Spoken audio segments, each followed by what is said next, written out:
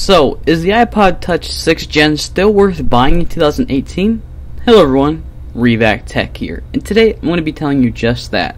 So without further ado, let's begin.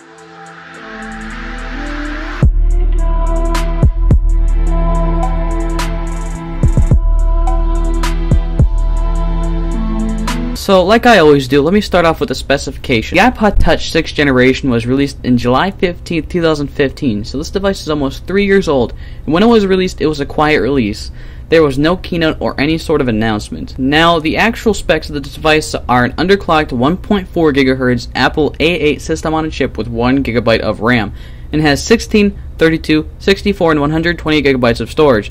But in July of 2017, Apple only sells the 32 and 128 gigabyte configuration. Now the camera quality is okay, but here's the specs and some example footage. So the camera is 8 megapixel, 2.4 aperture that can shoot 1080p at 30 frames per second. The front camera isn't that good also, but it has a 1.2 megapixel that can shoot 720p video.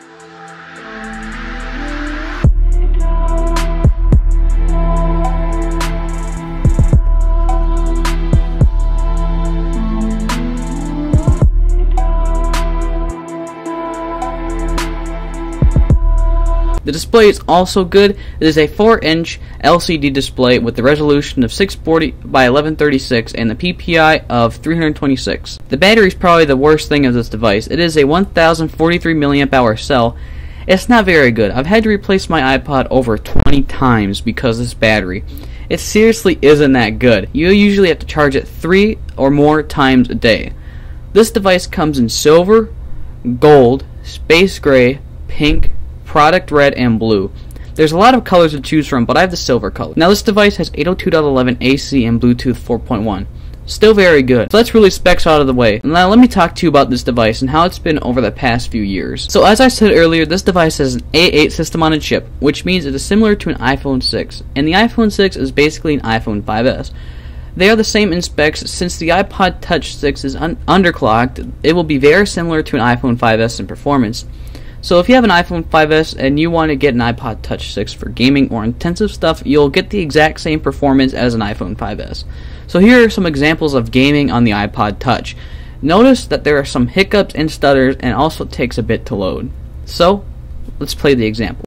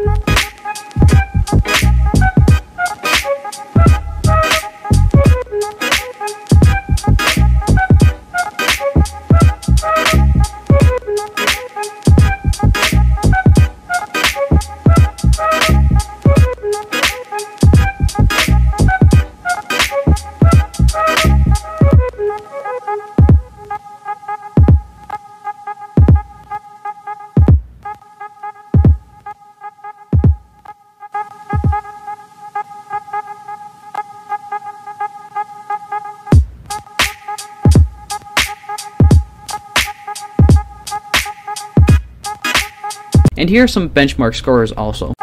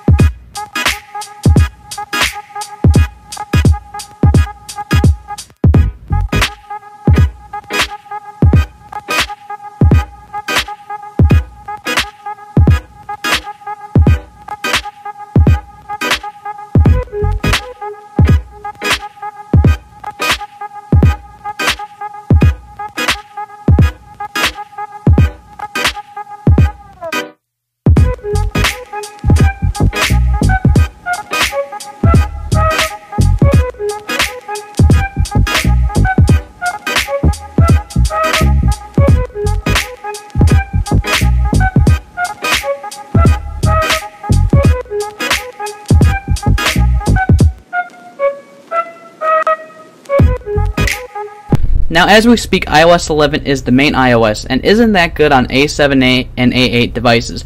So if you buy an iPod Touch 6 from Apple, it will be running iOS 11. And performance can be worse, but it's not like what it used to be when it was shipped with iOS 8.4 or even iOS 10. Now, I really love this iPod, but there are some things that are going to probably hold you back from buying this device, such as battery life. You'll probably need to charge it more than twice a day, and since this device has an Apple A8 chip, it will probably run iOS 12, and that will most likely kill the battery even more and make performance worse. I'm saying this because iOS 11 isn't the greatest iOS ever. It's had a lot of problems with batteries and speed. I do not recommend updating to iOS 11. I do recommend staying on iOS 10 or earlier if you can. Now, as a personal music player, it's very good. But if you have Bluetooth headphones, the battery is probably going to die fast. I know this from experience. I have Apple AirPods, and I did nothing but play music offline, and the battery ruined from 100 to 50% in just two hours. So I do recommend using wired headphones to prolong the battery life. This screen after a while does scratch very easily and is noticeable when viewing content. So I do recommend a screen protector to prevent those scratches and overall design of this iPod is very good. I've had this replacement iPod since October of 2016 and has no chips or dents in the body. And here's a speaker test. It's also very tinny sounding.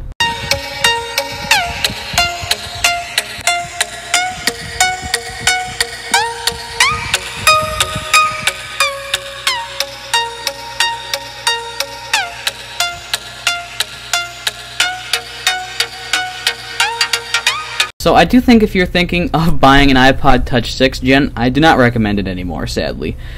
I say this for a few reasons. The iPod Touch 6 Gen has terrible battery life and has the same performance as a 4-year-old device, and there's better options for a cheaper price point, such as the iPhone SE. You can find them for cheap and you do not need a contract for them. And the iPhone SE is the same size as the iPod Touch 6, but has double the performance of the iPod Touch because it's using the Apple A9 chip found in the iPhone 6s and iPhone 6s Plus. So no, the iPod Touch 6 Gen is not worth buying in 2018, and it's only a matter of time before Apple discontinues it. Alrighty, well, there's my review on the iPod Touch 6th generation, and is it worth buying in 2017? So, like I said, the answer is no. But hopefully you do enjoy this video, and if you did, please smack that like button, follow my Twitter Instagram links will be in the description, and tell me in the comments below is this video helpful? Well, as always, this is Revak Tech, signing out.